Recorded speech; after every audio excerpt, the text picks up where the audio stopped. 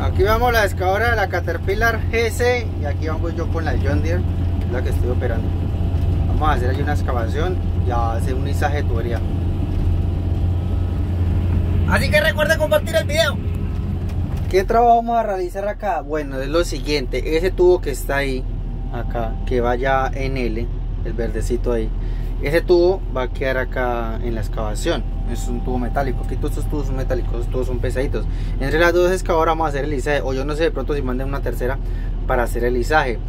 Eh, ahí están marcando con cal la excavación, pero como esta parte de acá donde está el muchacho estaba malo, es puro barro que ya lo sacamos, porque como pueden ver es una carretera que va a quedar ahí y el tubo quedaría por debajo, bueno casi por un lado. Entonces ese material feo lo sacamos ya para no volverlo a reusar. Entonces la excavadora está cogiendo cortea para medio nivelar la parte del hueco que hicimos acá, sacando el barro.